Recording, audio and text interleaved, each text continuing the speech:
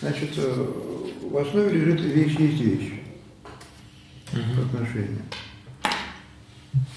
Сначала, логически сначала у нас получается вещь есть вещь до сравнения свойств. Отношение тождества вещей является условием для сравнения свойств. Сначала отношение тождества вещей, которое, как Булат верно заметил, различаются лишь по пространственному положению, по положению в пространстве. Отношение вещей является условием для сохранения свойств. Сначала устанавливается отношение тождества вещи есть вещь, а затем сравниваются свойства. Одна вещь является мягкой и красной, другая вещь является зеленой и твердой. Соответственно, мы сравниваем, берем отношения красный, зеленый и мягкий, твердый, и оба отношения вместе относим к отношению вещей. Таким образом, субъектом у нас в этом построении является отношение тождества вещей, как минимум двух. А предикатом является отношение между отношениями свойств. Относительно этой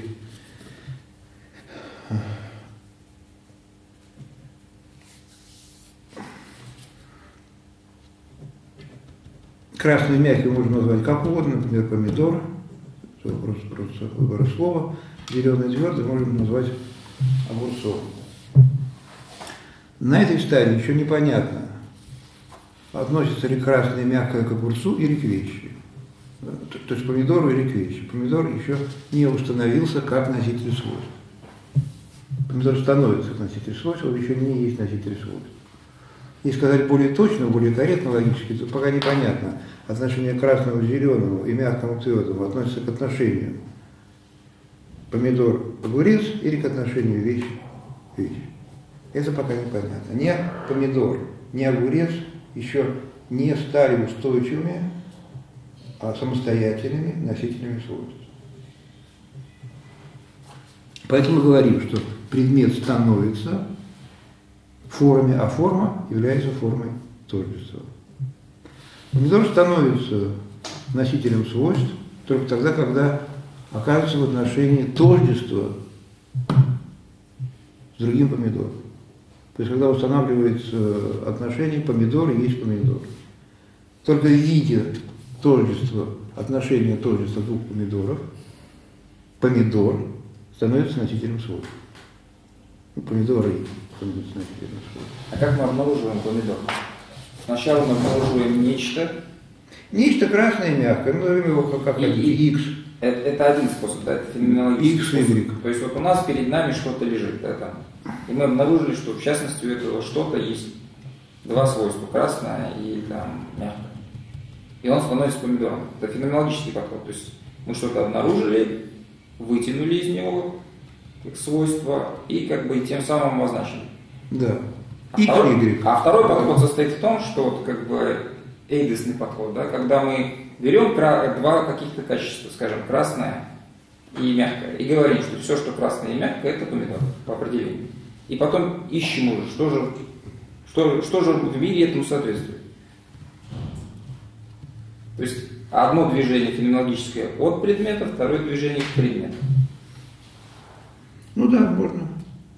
Не, а какое у нас это движение? Потому что ясно, что помидор не только мягкий и красный, он там много какой еще. Ну, мы все свойства перебираем. Мы движемся, мы все время в движении находимся, как мы говорили. Мы добавляем еще свойства там, круглого, продолговатого и так далее. Переходим э, от отношения между отношениями двух свойств, отношениями между отношениями трех свойств, четырех свойств, или отношение двух свойств к отношению трех свойств, а отношение трех свойств к отношению двух свойств, и движение обязательно происходит. А, все, все время. Но как бы то ни было, сравнивается x и y. x и y. x у нас будет сумма свойств, y, которая сумма свойств, но свойства сравниваются по, по, по модальности, разумеется. Никто не станет сравнивать красную с твердым.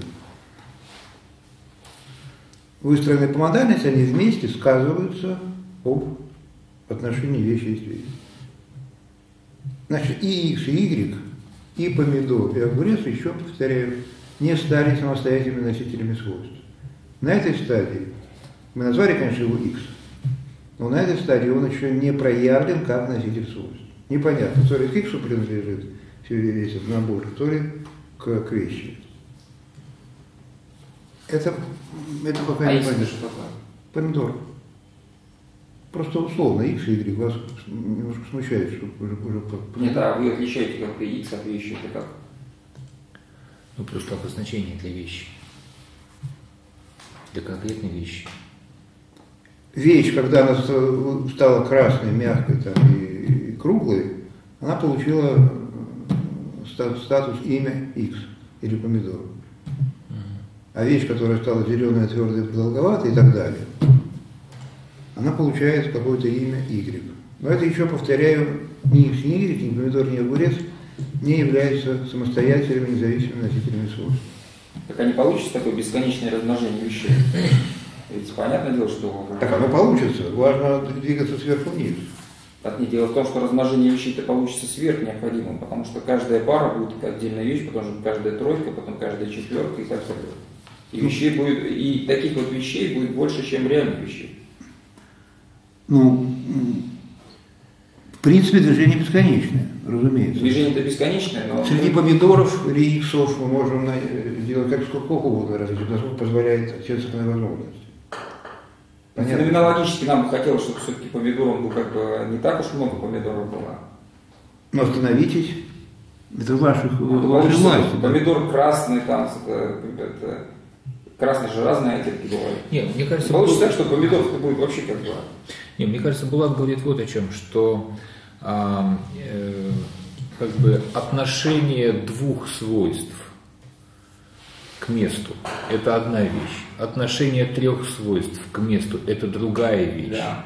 И в этом смысле происходит мультипликация вещей. То есть как бы на- по поводу одного места возникает множество вещей.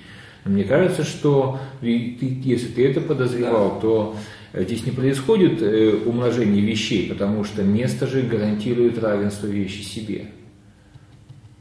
И Ну, это, не, это не две разные вещи, это та же вещь. Ну, Просто есть- сначала помните, как у в виде Гегеля двух свойств, а потом Я вижу трех. дерево, я поворачиваюсь это, и вижу дом, да. Здесь дерево сначала было, а потом здесь дом. Одно и то же здесь, да, одно и то же место, как бы, да, а оно сменяется, это, содержание меняется. То дерево, то дом. Нет, здесь у Гегеля это э, то же самое вот, разновидность вот. То есть это вовсе не предмет, а это указание на предмет, это понятие. Я просто к тому, что как, как вы закрепите место? Вот вы думаете, что в одном месте одна вещь, а как его закрепить? Но мы же начали с с тождества места, мы просто это прошли, это никуда не Нет, делось. нет, тождество место тождество, да, пока я его на него, на это тождество, ну, условно говоря, там, пока я воспринимаю, да, тождество имеется. Но я повернулся, передвинулся, там, ушел, пришел. Ситуация как бы возобновилась, правильно, и место стало другим. Ну, так и место другое. Нет, ну, а В вы чем же- проблема? Вы же говорите, что вот на одном и том же месте, там одна и та же вещь. Да. получится, нету одного и того же места. Есть Да есть. Просто у Гегеля он работает не с местом, он работает с указанием на место. И вот указание на место, оно действительно предельно абстрактно, и оно такое же указание на это место, как указание на другое место. У Нет, него я- речь в том, именно в том и речь, да, что у него здесь это то же самое, что вот. То есть это просто э, жест указания. Ну, не, не, не строго говоря, конечно, да. Вот. А в, в этой точке зрения, в точке зрения Олега Михайловича, а, место есть реальное место. Не указание на место, а есть реальное место. Так вот, когда ты говоришь реальное место, так ты как ты зафиксировал все места? Чтобы вот, например, вот есть много мест. Чтобы их зафиксировать, надо в пространстве какую-то точку отчета задать.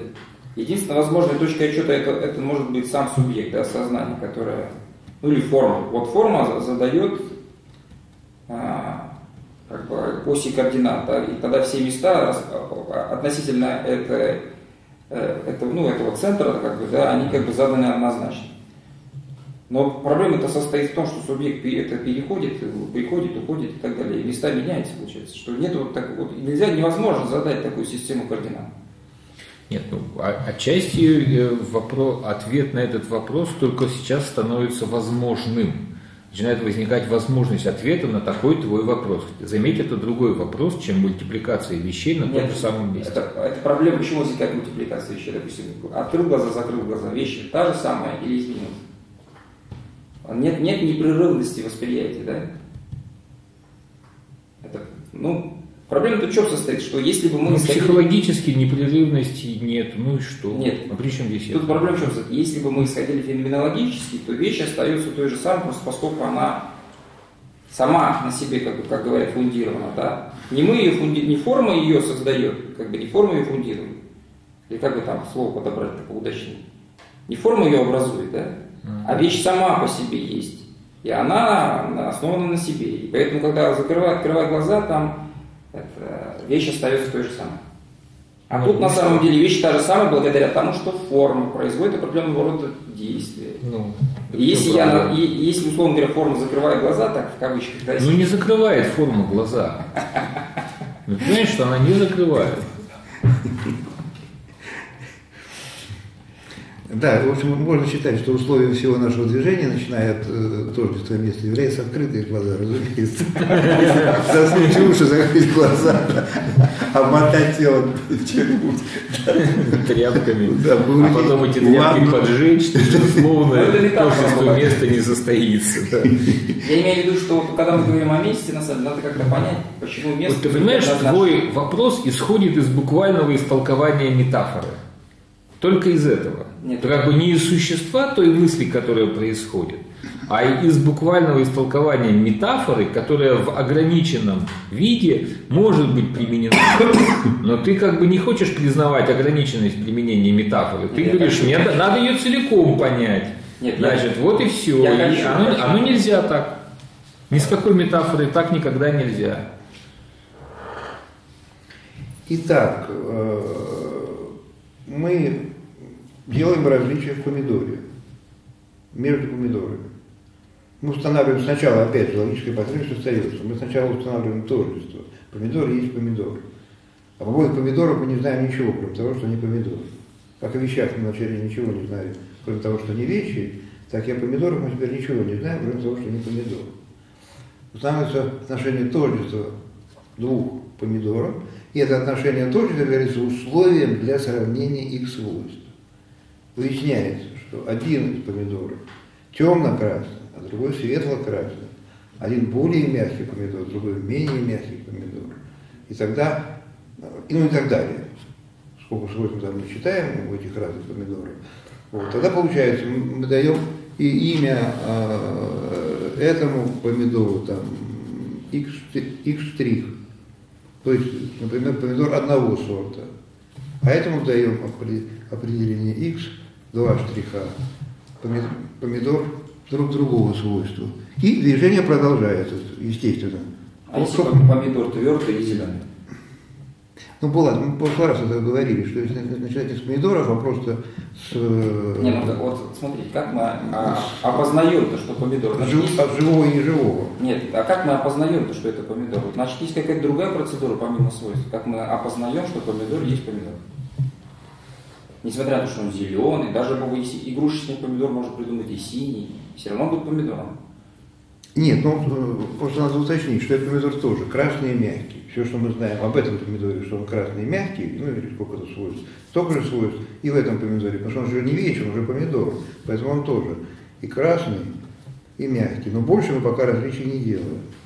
Это отношение мягкого к мягкому дает нам отношение помидор есть помидор. Больших различий пока нет. Когда мы установили тождество, помидор есть помидор, если красный есть красное, мягкое есть мягкое. лучше помидор есть помидор. Почему?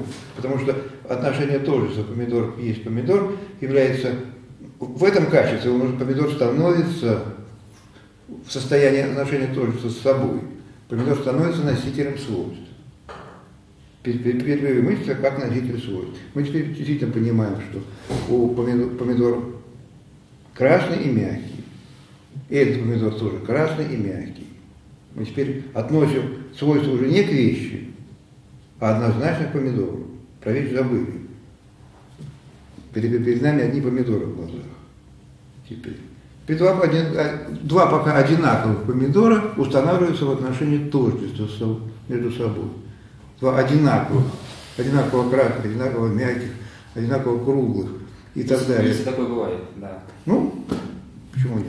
Ну, все помидоры. Мы же, а, даже животные умеют так абстрагироваться. Животное может слышать э, только две ноты, а если похожу поучить, оно будет различать три ноты, четыре ноты, если правильно кормить. Все точно, точно так же устроено. Сколько хотим, столько и различаем. Наши органы позволяют нам а, видеть э, до- до- достаточно абстрактно и конкретно. Нет, тогда получается, что все-таки эйдис впереди. Если мы видим помидоры и можем их сравнивать и говорить, что они одни и те же помидоры, значит у нас есть и эйдис помидоры до того, как мы воспринимаем конкретный помидор. Да нет, есть, есть только место. Но место-то есть. Место в данном случае красное и мягкое. Ну, не ну, должно, если быть строгим, тогда в это место каждый раз должна приходить новая вещь. Каждый раз поми- новый помидор. Там помидор один, помидор два, помидор три и так далее. Каждый раз слово помидор здесь как бы так это просто слово. Да? На самом деле вещь один, вещь два, вещь три и так далее. Все они разные. Как мы вот определяем, что вот эти два помидора, они два помидора? Откуда взялось вот это вот понимание, что они помидоры? То есть тут, получается, есть какая-то идентическая еще подоплека. Да нет, назовите иксом. И все. Просто было две А как вы определяете, вещи. что вот этот X и другой X это одинаковые X? Ну, потому что они оба одинаково обладают одинаковыми свойствами. Ну, Было две вещи, стало четыре. Вот и все. Нет, так это понятно, что одинаковые. Так как просто по факту феноменологически такое очень редко встречается, чтобы две вещи были за одинаковым свойством. Ну, ну, Помидор немножко менее красный, чуть-чуть более красный. но вот мы пока это различие не сделали. Пока у нас нет логического основания для различения более и менее красного. Когда мы установим отношение тождества между кра- красным и мягким, и другим тоже, тоже красным и мягким, тоже, понимаете, этот красный мягкий, этот красный мягкий. Пока мы не установили отношение тождества между ними и не сказали, помидор есть помидор, x есть x. Пока мы не можем двигаться дальше, различить темно-красный, светло-красный. Хорошо, а если по- по- появится как айва, которая тоже красная и, там, и, и похожая на помидор? Ну, это просто я говорю, мы, мы начали с помидора огурца, получилось рядом айва, конечно, много всего красного. Но было начинать правильно, живое, неживое, среди живого растения и животное, тогда вашего вопроса не было. Не-не, я же не классификации же говорю. Я имею в виду, что в логическом нашем движении, мне кажется, есть некоторого рода, ну, как скачок, что ли, какой-то логики. Что вот мы можем уже как бы отождествлять вещи. А это как? Вот я понимаю, когда мы одну и ту же вещь отождествляем, это непонятно. А как мы можем две вещи отождествить? Нет, когда вещи и просто две вещи, любые, да, вот какие-то какие абстрактные две вещи, отождествить тоже нет проблем. Но как мы можем отождествить помидор и помидор? Как определив, что это вот помидор? Нет, ну мы же, как выстраивается отношение двух вещей? Отношение двух вещей выстраивается, ну, Олег Михайлович сегодня с этого начал, да, что сначала мы устанавливаем, что вещь есть вещь. И в этом отношении сравниваемые две вещи тождественны. Их тождество, вот это самое тождество, дает нам логическое основание для сравнения их качеств. Правда, сами качества сравниваются э, непроизвольным образом. Во-первых, они э, выстроены по модальностям, то есть цвет с цветом, выстраивается сравнение цвет с цветом. Но это как бы логично. То есть, вернее, это не логично, но это интуитивно понятно, что способа сравнивать красное и мягкое, вообще говоря, нет. Ну да, единое основание должно быть. Да, должно быть единое основание. Вот логическим основанием выступает тождественность э, вещи как вещи. То, что и эта вещь, и эта вещь позволяет нам их сравнивать. Более того, сравниваются не впрямую поштучно качество одной вещи и качество другой вещи, а сравниваются отношения качеств одной вещи и отношения качеств другой вещи. Тем самым выстраивается отношение двух вещей. Так. Это все понятно, да? Вот Да, что касается теперь- абстрактных каких-то вещей, ну, в смысле, любых вещей, да, это Да. понятно. Теперь, когда Да. переходим к конкретным помидорам. Теперь частный случай. Неважно, помидор или, или какой другой X. Да? Но оказывается, что две вещи, которые мы сравниваем, а, тождественны не просто в том отношении, что они вещи, но они также не отличаются по своим, а, по сравнению отношений своих свойств. Что одно круглое и красное, что другое круглое и красное. Так вот круглым и красным может быть много что, помимо помидоров. Понимаю.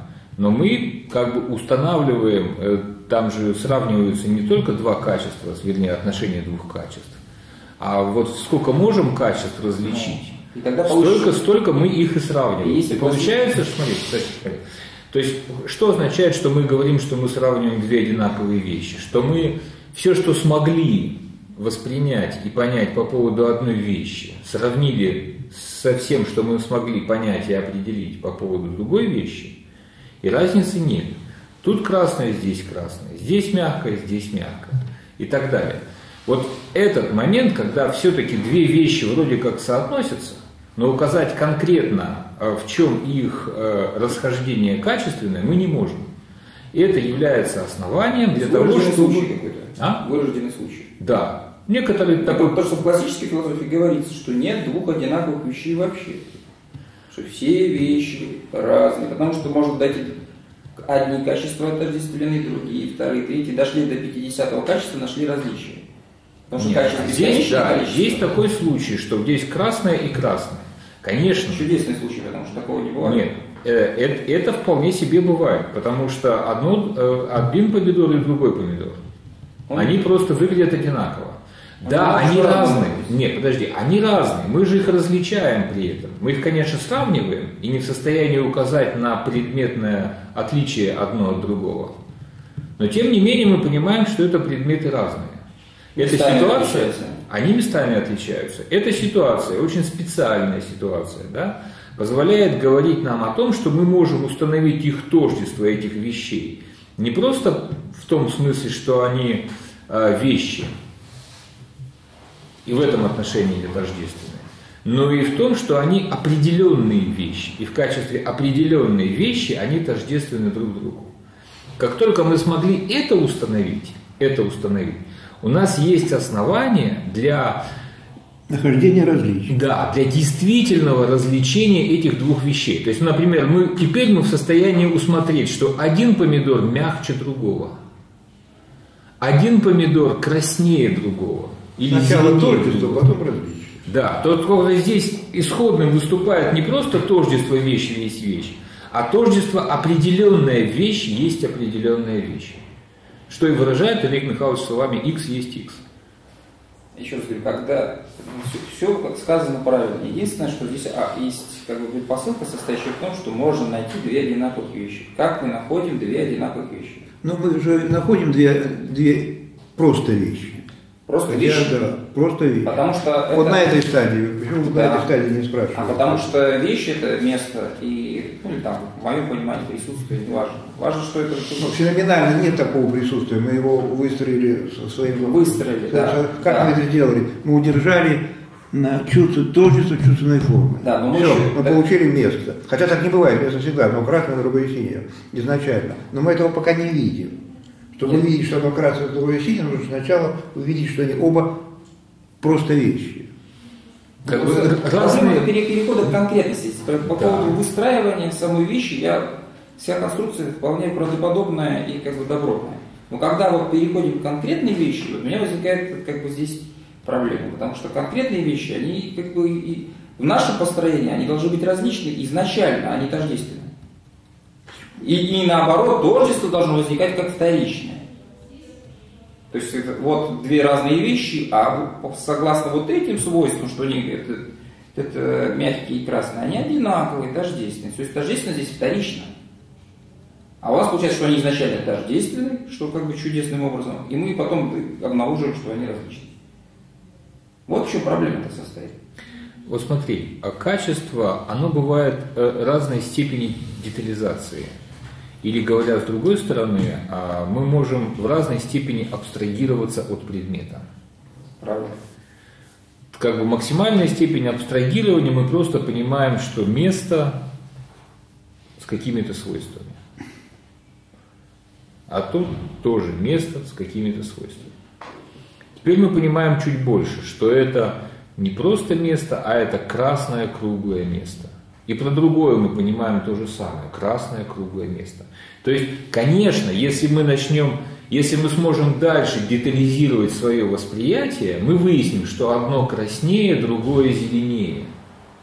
Но это будет потом. А сейчас уровень восприятия, уровень как бы абстракции, да, не такой абстрактный, как был. То есть не, не до голого места, а до простого набора как бы элементарных качеств. Красное, круглое, мягкое. Ты Игорь феноменологию расскажешь, а я логику пытаюсь объяснить. Логику. Логика-то не в этом состоит. Согласен, все, что ты говоришь, все правильно. Ну. Только с точки зрения логики, вы получается, что у вас есть некого рода эйдес, который вы, как, как ты, как ты говоришь, круглости, который проецируется в мир, и все, что круглое, называется, там, я же, допустим, помидором. Да? То есть эйдес первичный, получается.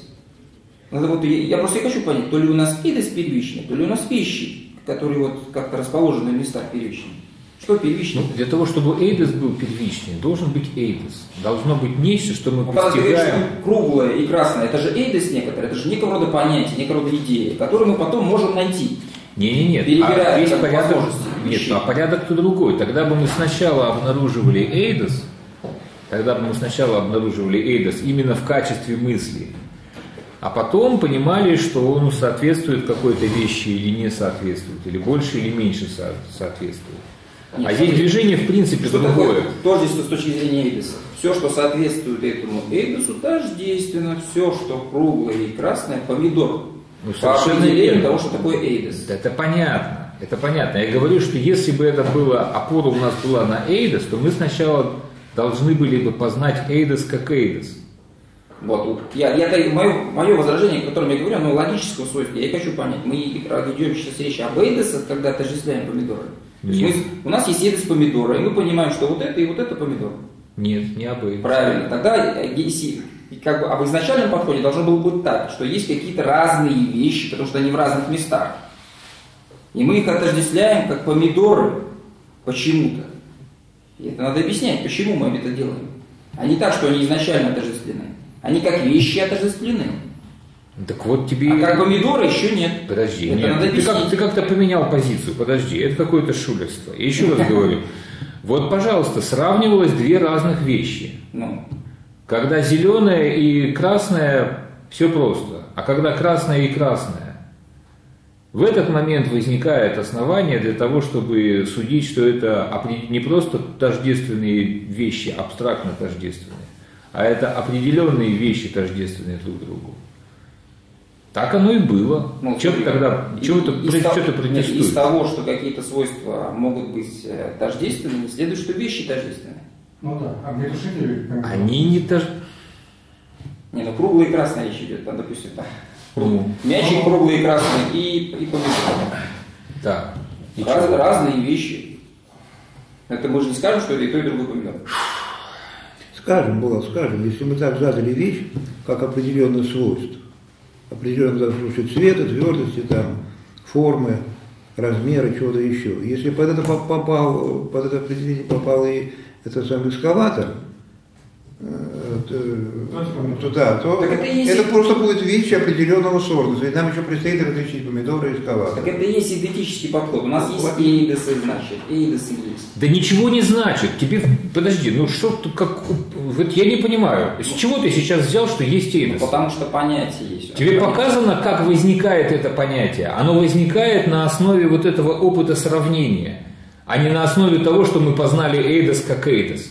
Потому что если, ну, слово эйдос может иметь только такой смысл, что это просто чистая умопостигаемая штука, которая постигается до того, как э, происходит некий опыт.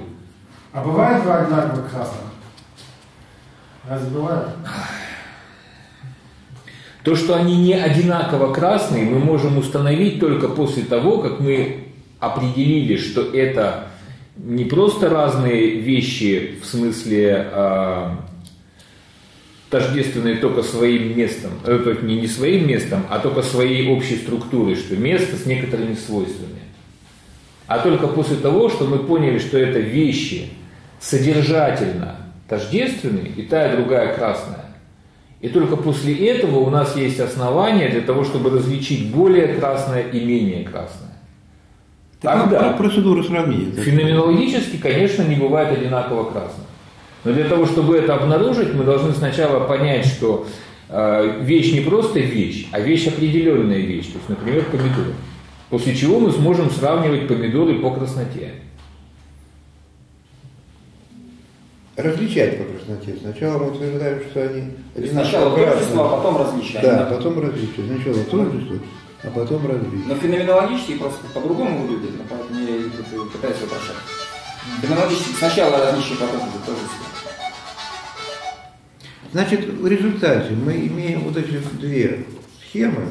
Одна классическая, одна наша, которая рабочая. Классическая так вот движется, есть вещи, есть живое неживое, живое делится на животных и растений, это обычная классика э, логического движения. Мы пытаемся двигаться иначе.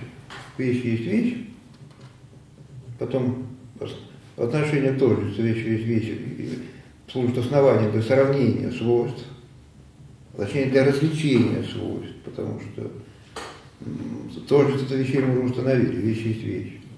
То мы установим различия свойств, которые позволяют нам говорить об, об x и y, например, то есть говорить просто об определенной вещи, все равно, как, как бы мы ни назвали, говорить об определенной вещи.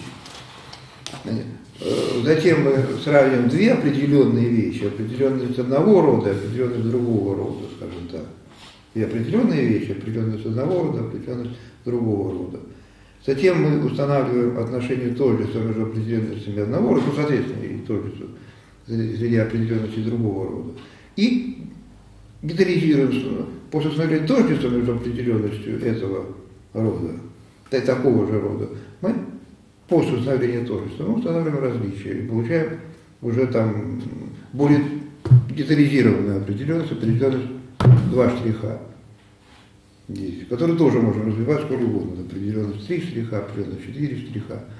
Выстраиваем такое вот логическое движение, сколько, сколько хотим, под определенностью сколько хотим, сколько позволяет наши э, органы, органы чувств. Это совсем другая логика, видите, совсем другая. Она даже совсем не похожа на обычную классическую логику, действительно, поскольку я чем больше уверяюсь в ее достоверности, тем мне смешнее становится. Ну, там это на коряком, что вы ничего не увидите. Ну да, действительно сложно.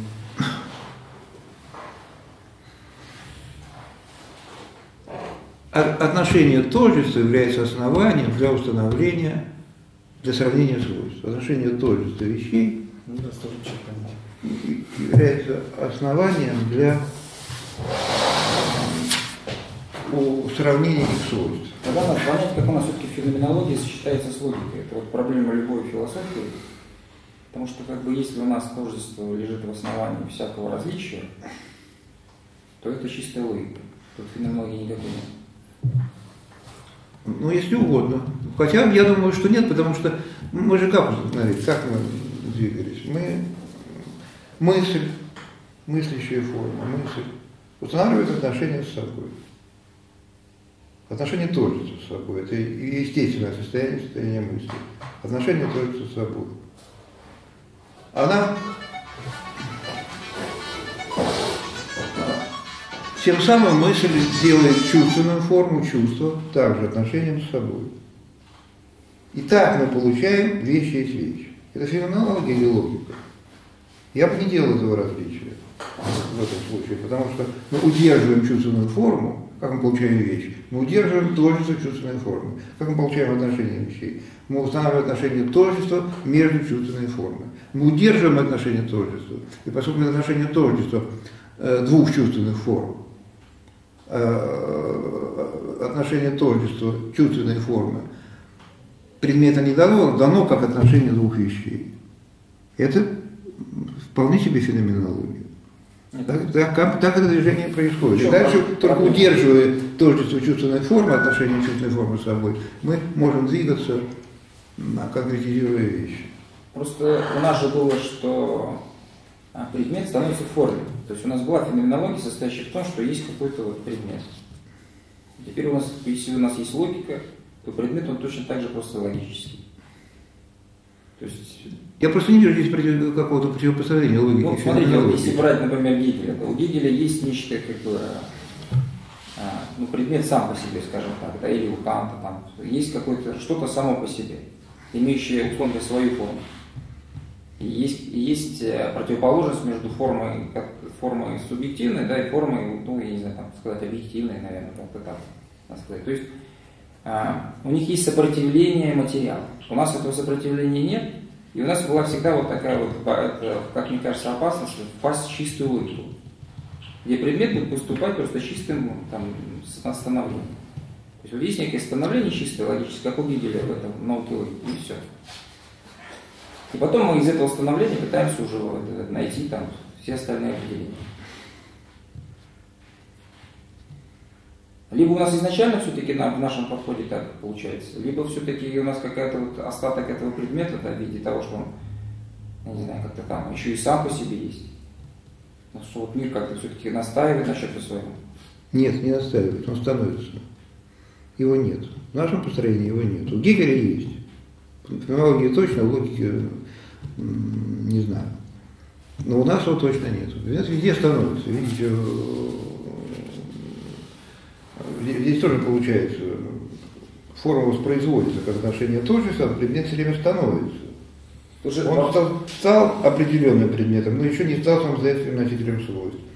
Он установился как э, отношение двух определенных предметов. И в качестве отношения тождества двух определенных предметов этот уточненный предмет стал носителем, субъектом, если угодно, субъектом свойств.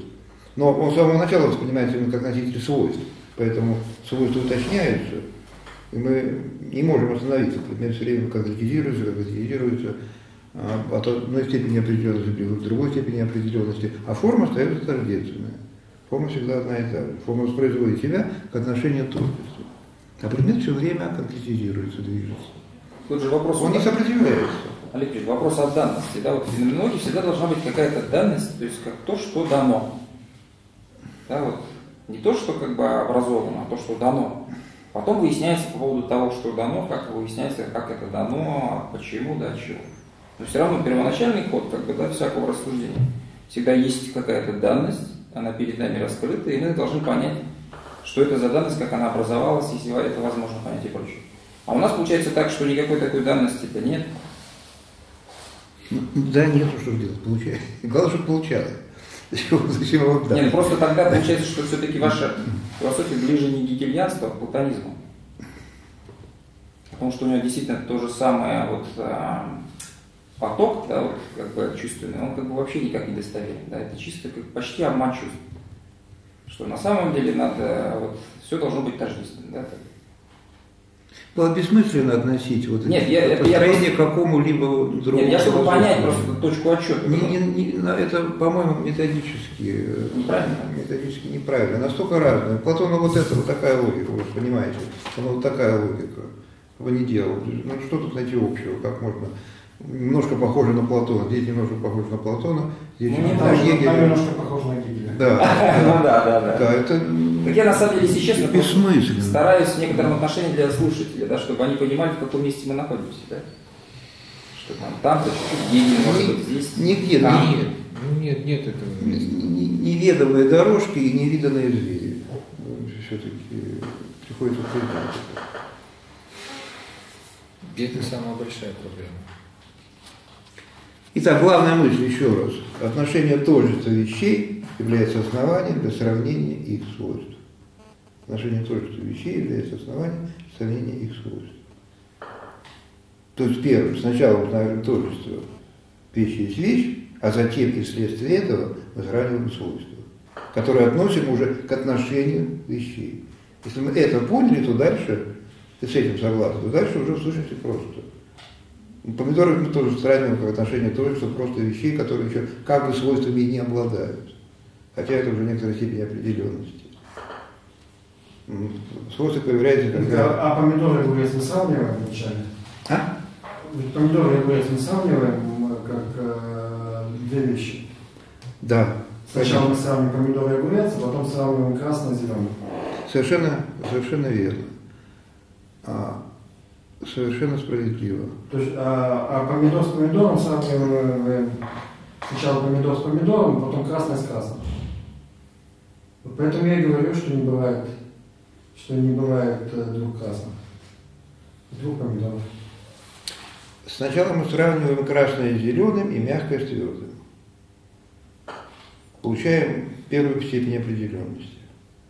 Следующая степень определенности, э, что получается? Получается сначала отношение красного и зеленого, а затем, если говорить про, по свойствам, отношение более э, темно-красного и светлого красного. Что делает отношение светлого, темного светлого красного? А конкретизирует отношение красного и зеленого. Конкретизирует отношение красного и зеленого. Или если более общем мы так скажем, сначала темное, светлое, а затем скажем темное, кра- красное и коричневое, а светлое, зеленое и синее. Так вот, отношение красного и коричневого конкретизирует отношение темного и светлого.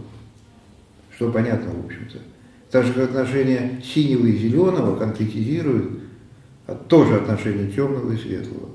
Отношение темного и светлого конкретизирует с одной стороны отношением коричневого и красного, а с другой стороны отношением зеленого и синего. И так далее. Если мы возьмем темно-красное и светло-красное, это будет конкретизация отношений красного и коричневого. Вот все вместе, да? Вот у нас есть отношения красного и круглого, да? Их отношение называется помидором. Правда? Отношение красного и круглого, отнесенное к одному месту. Да. Называется По помидор. определению. Определение, да? Теперь мы берем другую вещь, которая есть отношение зеленого продолговатого, называется огурцом. Да, теперь мы пытаемся сравнить э, Их по свойствам. их да. по свойствам. Вот для этого мы выполняем такую, такую процедуру, иначе мы их сравнить не можем. Вначале мы же должны сравнить вещь как вещь. Для этого мы должны получить огурец как нечто равнодушное, отстраненное от своих свойств. То есть об отношении красного и круглого. Да, И только огурец- место, да, место. И огурец также должен взять нечто отстраненного от своих свойств. То есть как нечто субстантное. Да, субстантное? Ну да, по месту. Да, Только, только два места, да. И тогда мы имеем вещь. Это, эта вещь неразрывно связана с его конкретностью. Да, но эта конкретность выступает, как я говорю, спрятана в тени. Как как? А, В тени, в тени, в тени. То есть таким таким образом у нас есть вещь огурец, и у нас есть вещь помидор. Но они связаны со своей конкретностью. С с- со спрятанностью красного и сокрытостью зеленого. Каждый из них, да, вот казалось бы так. А, Теперь для того, чтобы я, я их должен сравнить, это что означает? Что я окончательно в этот момент избавляюсь от конкретности?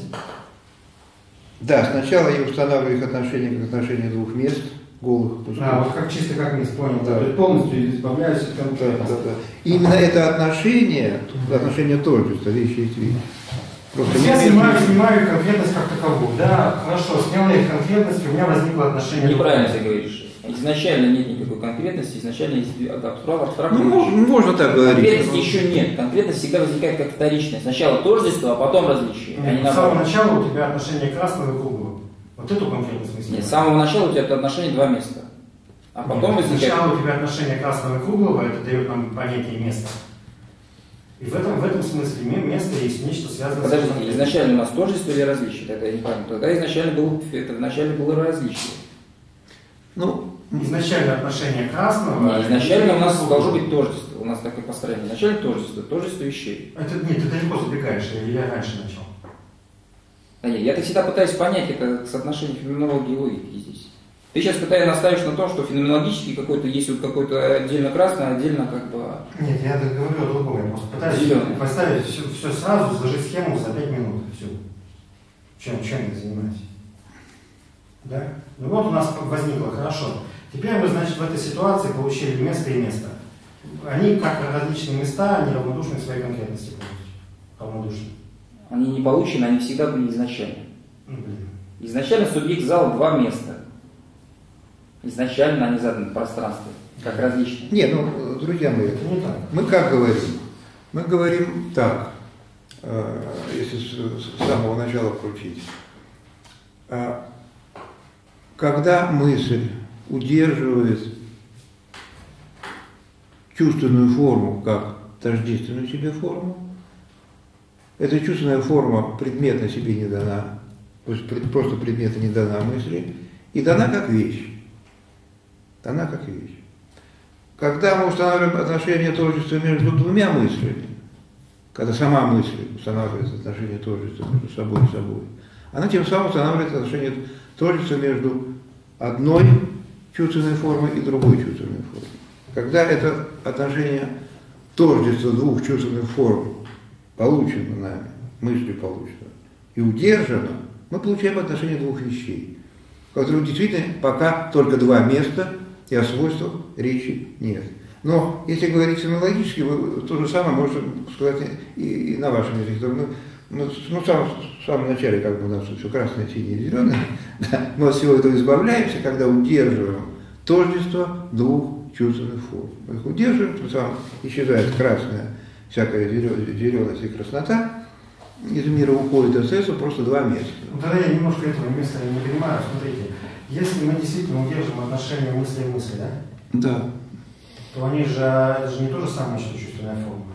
Если мы же основаны только на чувственной форме, мы тождественны. Да. Почему мы тогда говорим, что мы устанавливаем отношения вещи-вещи? И чувственная форма для нас выступает как вечность, точнее, правда? Чувственная форма как есть. Да. Как вещь выступает. Но мысль у нас отличается от вещи. Мысль устанавливает отношение тождества с собой, воспроизводит да. даже себя как тождество с Да, собой. да, да, да. Тем самым она не, не, все-таки не, не, не мысль основана на чувстве, а чувство основано на мысли, естественно. Тем самым мысль устанавливает отношение, то- ну, я повторяюсь, устанавливает отношение тождества, тождества чувственной формы и другой чувственной формы. Предметы это дано как отношение двух чистых мест. Все-таки не мысли и мысли, а чувственная форма и чувственная форма. По-другому не можно. Да. А почему? Нет, почему, почему? Сначала мысль, мысль, потом чувство и чувство. А почему иначе? Сначала, если тождество, то тождество логическое сначала, потом тождество чувственное, то тождество вещей. То есть все тождества, как бы, а, как бы есть изначальный генератор тождества, да, это мысль. Вот она так тождество сделала, и все это тождество разошлось и ушло в мир. Там все стало отождествилось. Чувства отождествились, там, свойства отождествились, вещи отождествились, все отождествилось. И вот так вот работает как процессор. Раз, так, дал. Ну, Вот. непонятно. Это так, Ведь тоже же сам, самый момент, когда э, ведь мысль же и одновременно и отличает себя от чувственной формы. Ну да. Ну, И что? Ничего. Ничего ей поможет, да, если она так. Что значит время поможет То есть? Игорь сейчас стал на позицию феноменологии Гегеля, опять же, что чувство как бы. Пер- Первичное различие, опять же, ну, хорошо, не Гегеля, первичное различие, он начал сейчас говорить, первичное различие. Ты сейчас пытаешься это апеллировать то, что я пытался со всех, тут тоже недавно пытался понять. У нас что, что первичнее, то различие или то Ты сейчас говоришь, различие первичнее. Оно не первичнее, у нас по по построению тождество первичнее. В этом, мне кажется, различие феноменологии и логики. Что в феноменологии начинается различие и приходит тождество. а Логика начинается с тождества и приходит к различию. На какой-то стадии э, мысль, Деятельность мысли она сводится к чему? Потому что она полагает чувственную форму формы вещи. Это единственная функция. можно, можно так сказать, да, А, тогда да. А, вещи, вот, да. Поэтому отношение двух чувственных Да, форм да, представлено как отношение Да, да, двух да. Не только чувственных отношение двух чувственных форм, но она еще отношение двух чувственных форм формы мысли. Поэтому это возникает отношение двух вещей. Вот так. Да. Поэтому там в каждом из этих удерживается разница между мыслью и чувственной формой. Да, мы себя отличает от чувства в качестве причины чувств. Только так. Ну да. То есть логика, опять же, да, тождество первичнее, а потом всякое различие. М. Опять же, поскольку тождество первичнее, то есть все, все остальные различия, они чисто логические различия, опирающиеся на изначальное тождество. Не- невозможно было, вы пользуетесь словами логика и феноменология гегельского происхождения. Ничего общего. Ничего общего.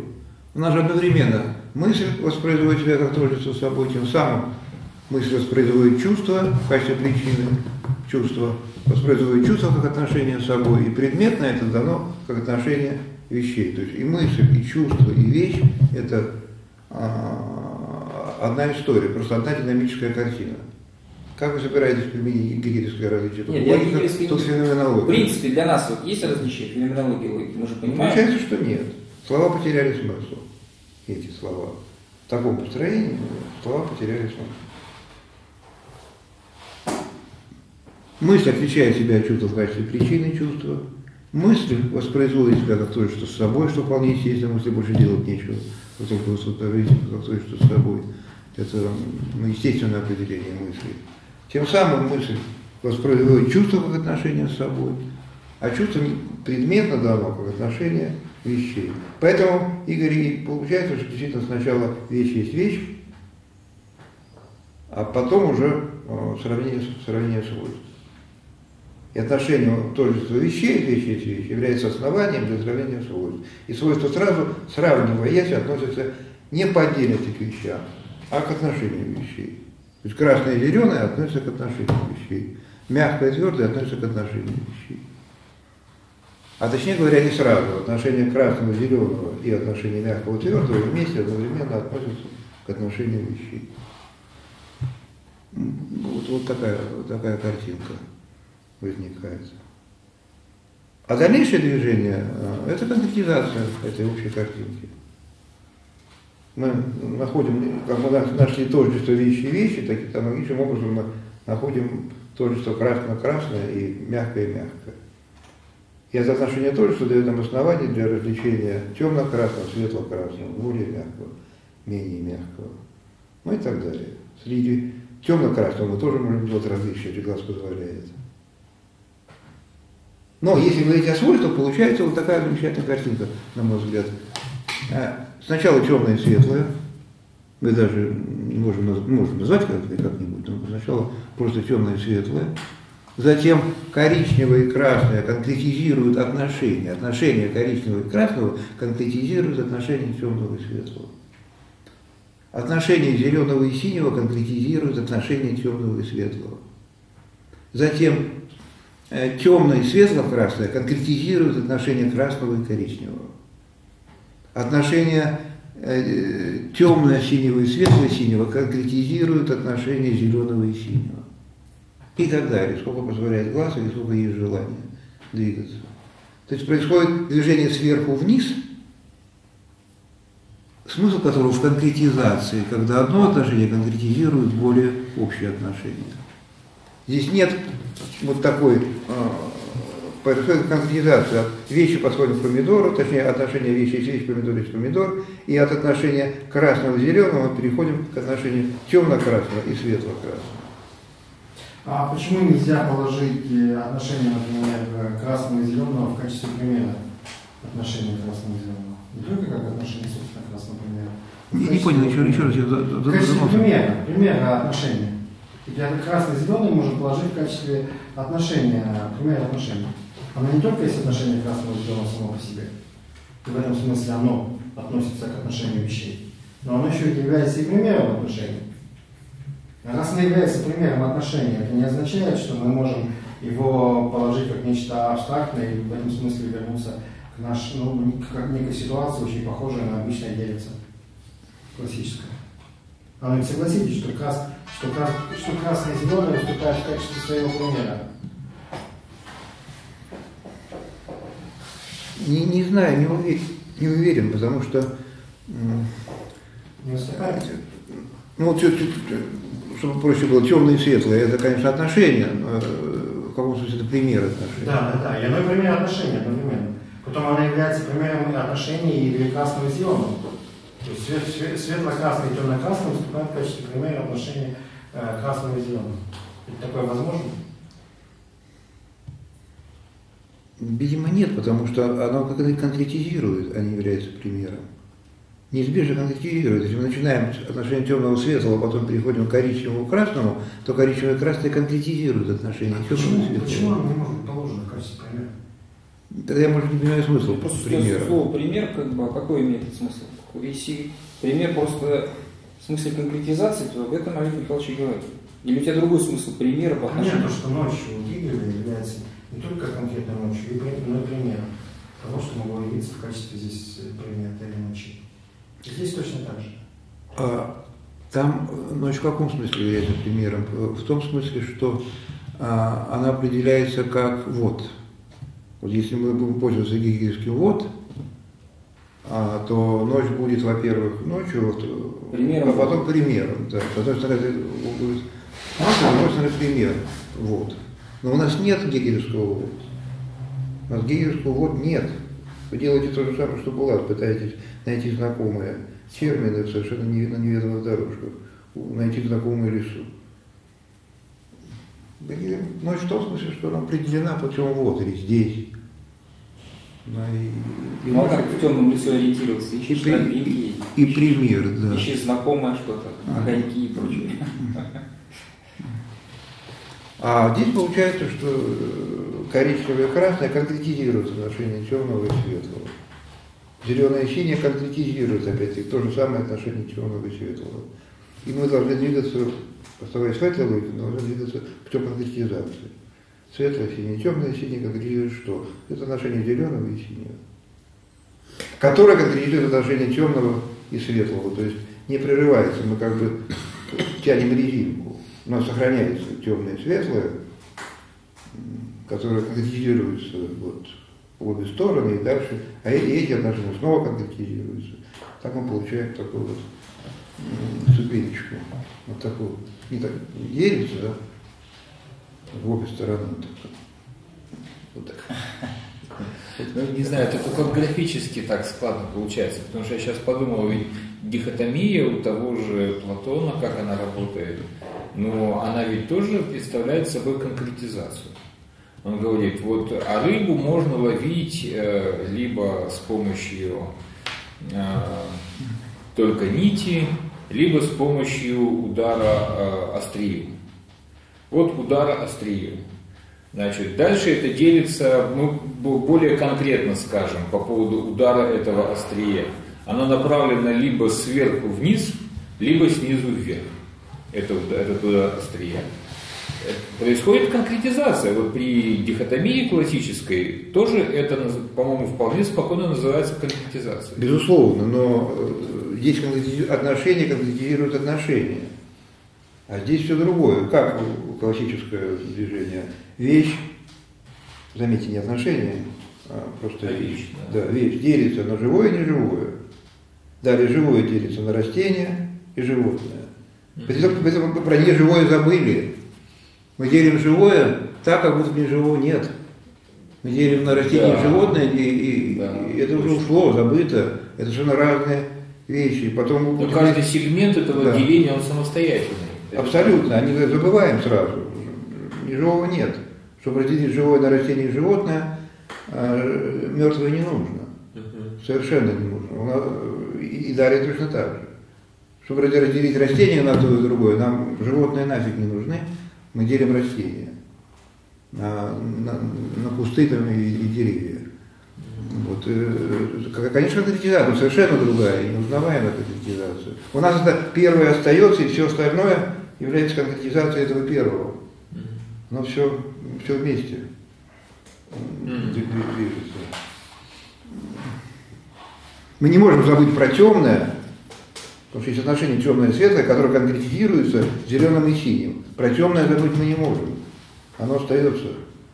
Мы не светлое делим на синее и зеленое. Мы отношение темное синее, именно отношением задается цвет. Отношение темного и све- светлого задается цвет. Мы не берем просто светлое. Вот. Есть темное, есть, есть свет. Есть темное, классическое, свет, темное и светлое. Потом про темное забыли, его вообще нет, есть светлое. К светлому относится, скажем, от синего до зеленого. Все, другая часть от красного до коричневого нами э, забыта напрочь. Мы делим теперь светлое делим на, на синее зеленое, потом синее делим на светлое, синее, темное, светлое. Как будто бы зеленого нет. У нас есть просто светлое. Вот оно светлое, вот оно, светлое, зеленого нет. Мы делим на, на синее и зеленое. Тоже конкретизация, но совершенно же другая конкретизация.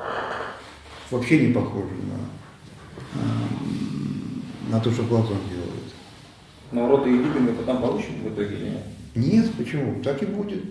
Вещь есть вещь, помидор есть помидор, помидор одного сорта есть помидор одного сорта, а помидор, и, ну и так далее. Да если бы только так. Вообще проблема же состоит не в том, что мы вещи классифицируем, мы классифицируем отношения двух вещей. Вот в чем дело. Если мы помидор классифицируем... Собственно дело, исход, исходом является именно это, что мы а классифицируем отношения. Отношения двух вещей. Да, в этом разница главная. Ну самое это еще большая проблема мультипликации вещей еще. Бесконечно. То есть, ну, красное и круглое, сколько вещей ты таких найдешь? Бесконечное количество, теоретически. То есть всякий раз отношения Два свойства берем каких-нибудь, и новые То есть свойства берем, никаких, новые. никаких знаков зодиака. Ни- Нет, вещи не делятся на эту муху, ползущую по столу, и и животное, принадлежащее императору. Нет. По той простой причине, что у нас даже об одной вещи не можем получается. Об одной вещи не можем говорить. Ну, потому что независимо, у нас есть стадия тождества места, вещь, наконец, отношения вещей. Но когда есть вещь, нет отношения вещей. Отношения вещей мы получаем сразу, как отношения вещей. И уже субъектом является отношение вещей, а предикатом отношения между отношениями свойств. Красное, зеленое, мягкое, твердое одновременно относятся, сказываются к отношению вещей. Субъектом, если по старой терминологии субъект предикат, Ну, субъектом конкретика, является... должна какая-то стоять. Кроме вот таких общих слов, что у нас есть отношения вещей, всегда конкретика какая-то и должна же стоять. этим. А что вы имеете в виду? Ну, пример какой-нибудь, феноменологический, описательный. Ну, в мире что-нибудь такое. Но еще раз говорю, феноменологии нет на самом деле. Вот феномен какой-нибудь. Феноменов нет, есть Нет, логики. нет. Ну как, когда есть, есть, есть вещи, это отношение к пространству. Да. Темное синее, темное, отношение темного и синего, это же феноменологически, э, по-моему, однозначно. Свет дается отношением темного и светлого. Ну или там черного и белого. Мгм. Просто иначе свет не задать. Вы не можете его задать одним светлым и одним темным. Значит, он задается отношением. Значит, дальнейшее движение будет конкретизация отношения. Вы не можете задать э, свет иначе, как отношение цветов. И значит, дальнейшее движение может быть только конкретизация отношений. Поэтому вот, вот это движение не, э, мы поняли совсем другое.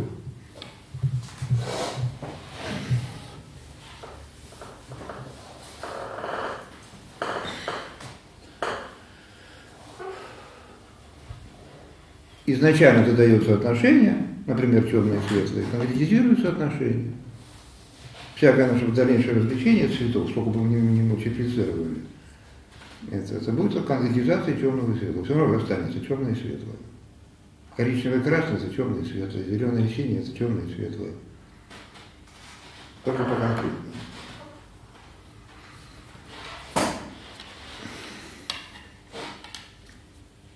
Ну хорошо, на сегодня хватит.